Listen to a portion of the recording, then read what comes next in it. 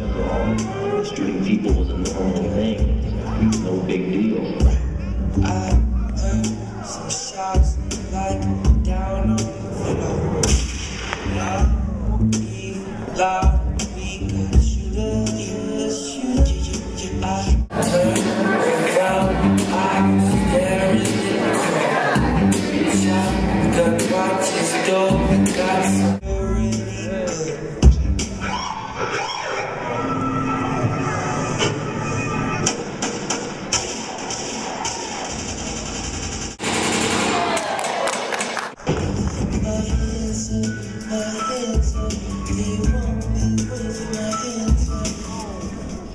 back as I can remember, I always wanted to be a gangster.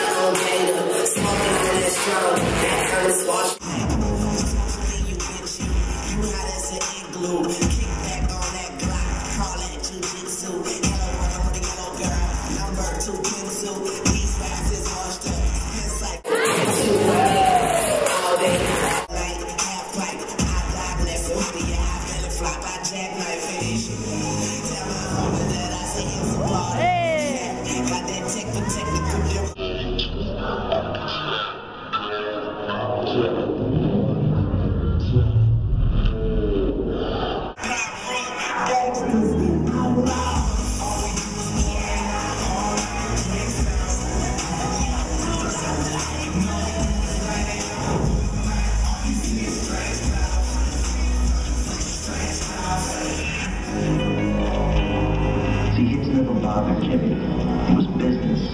But what Jimmy really loved to do, what he really loved to do was steal. I mean, he actually enjoyed it. Jimmy was the kind of guy who rooted for the bad guys in the movies.